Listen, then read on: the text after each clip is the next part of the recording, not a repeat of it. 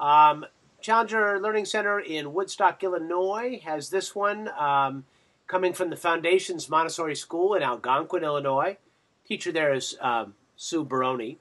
And um, Sergio asked this. Uh, uh, actually, he says, Was it hard to climb Mount Everest? You haven't done that yet. Well, we'll save that one for you. Um, and here we go.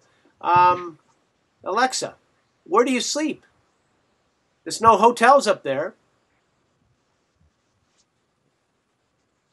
Take it, Keith. Well, this is very simple. I'm just going to pan the computer here, and you can see our little city. Um, we sleep in we sleep in tents, Nice and steady. and inside those tents, we sleep in very very thick sleeping bags. Very thick. And indeed. we're sleeping atop a glacier, which is constantly moving. Yeah. And as a matter of fact, here's an avalanche right now. Whoa. You see it? Wow. Don't know if you can see it, but there's an avalanche. Yep, we can. Just hold it steady there for a minute. Now, wait a minute. When you get an avalanche, are you guys in any danger there? Now, we aren't in danger here, but uh, you know they sometimes do cross our path, and that's uh, that's why we like to move very quickly through certain areas of the of the route. Wow. Now, however, there was a very significant avalanche several days ago, which is on our website, and it covered the entire ice fall. And then last night, I guess Scott slept through it, but there was a real nasty one behind us here. A lot of rocks came down. And of course, we're living at a glacier, which is, you know, these rocks are on top of the glacier, and it's constantly moving. So uh, we've been walking around, and all of a sudden, rocks just fall over. So it's a very dynamic environment. And although it's not necessarily dangerous, it's not really safe either. You just have to keep your eyes out here. So even sleeping in your tent at night, you're under a little bit of uh, uh, concern about something might happen to you in the middle of the night. So you always have to be alert, even when you're asleep. So it's not dangerous, but it's not safe. You guys figure that out. All right. Now, um, Foster wants to know what food did you pick? Well, uh, we, we introduced you to to uh, Kaji uh, just a moment ago. We uh, we have uh, mostly Western food. Uh, you know, it, it's hard to bring um, fresh fruit and, and certain types of foods up here because it, it typically comes up either on the back of a porter or a yak, which is a um, a large animal, kind of like a cow with with horns. They're very strong animals, but uh, it's a tough ride. Uh, a long way away from Kathmandu, the capital. So we have a lot of potatoes, which are hardy, and cauliflower. We have yak meat, uh, spaghetti noodles, and, and things like that. Um, cheeses. Uh, up higher, uh, we uh, we take foods that are kind of like camping food, dehydrated foods, power bars, um, uh, military meals ready to eat. So simple things that you can heat up very quickly and uh, you know get a lot of calories from them. All right. Uh, let me go back to my questions now. Um, oh, I, I know every kid right now is wondering what yak meat tastes like. We got to get that out of the way. Is it just like chicken? It doesn't taste like chicken. No, it does not. It tastes like beef. A little bit chewier and stringier, Yeah. kind of like uh, maybe uh, uh, an old shoe leather. Ah, excellent. That's yummy. All Tastes right, good so, though. Yeah. Um, how do you get water?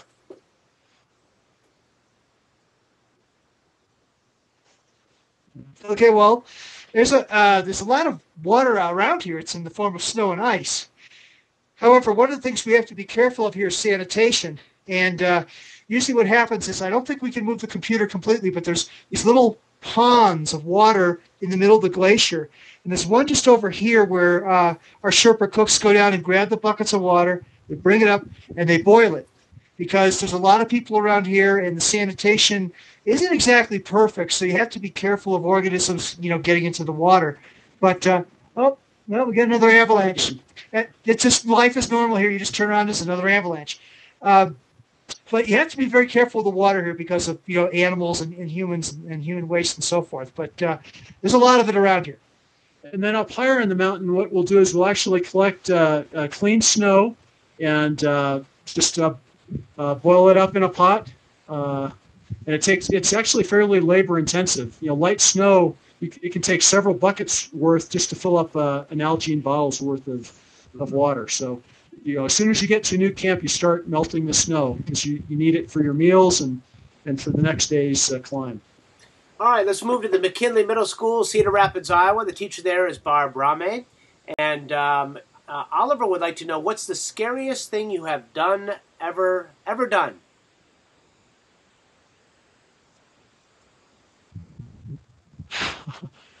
well, um, I guess uh, it would for me it would be a, a rock climb. Uh, I was in Colorado, and uh, I was climbing with a good friend of mine. I climbed with him uh, for quite a number of years, and he said, "Oh, why don't you go ahead and lead this uh, this pitch? That that means one one rope length of a rock climb." And I'd been in this area before, and I'd seen it. And it didn't look that difficult, and so I started climbing it. And I noticed that uh, there weren't really any places for me to put in any protection. Those, that means a piece of gear that would uh, prevent me from hitting the ground if I were to fall. So it wasn't possible for me to, to backtrack any, so I inched up a little bit further and a little bit further. And I found myself about 40 feet up, and I still didn't have a single piece of protection in. And uh, I yelled down to my friend John, hey, what is this rated? And he said, well, it's a 510X. and uh, X means uh, uh, if, if you fall, you die, basically. It's a, it means run out. It means this is really scary. And I, I should have been climbing it via a top rope, which means you set up a, a belay station up top and you, and you have someone kind of on a pulley that can, if you were to fall, catch you. Well, my uh, my legs started to tremble. We call it sewing machine legs, and I my palms got all sweaty, and I realized I couldn't go left, I couldn't go right, I couldn't go down. There's only one way, which was to go up, and uh, and so I I captured my wits and I just did it. And then I really laid into my buddy John after I, I finished that, that uh, particular bet. climb. Not not a well, good friend. This That's sounds familiar because I have a similar story. It was in Colorado. yeah, well, I have a similar story in Colorado. It was also rock climbing, and I was about 500 feet up, and a thunderstorm was coming in, and couldn't go down, couldn't go left, couldn't go right, so that you know you had to go up. But in my case, I'm a little shorter than Scott, so he probably could have reached where I had to go, but I had to jump. So I had a rope that if I fell, I would have gone like 20 or 30 feet. And as the lightning crashed around me, I said, well, you know, I just got to do this. I jumped up, got the thing, and pulled myself up. And um, I didn't yell at my friend because my friend was congratulating me on being such a great rock climber. But I was, I had sewing machine leg, I had the trembly fingers, so uh, it gives you pause to think about things. But yeah, I bet, I bet. Um, okay, uh, Cassiopeia has a great question. When looking down, uh, is the height of the mountain not as cool for you, Scott, since you've been to space?